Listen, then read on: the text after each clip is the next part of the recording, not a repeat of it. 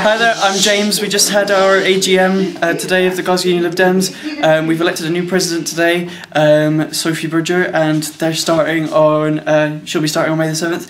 These guys have all gone quiet. They don't need to be quiet. It does have a quite good microphone, kinda, but oh well. Um, we had our AGM today, and it's been great. And there's still lots of videos to put up on the channel. And um, let's see hear what the new president has got to say.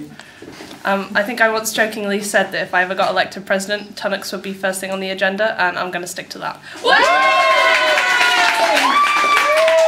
all I have to say. Yeah, there we go. Anyway, that was our AGM we had today. Uh, stay tuned to GULD for more exciting things. YouTube.com forward slash GLibDems.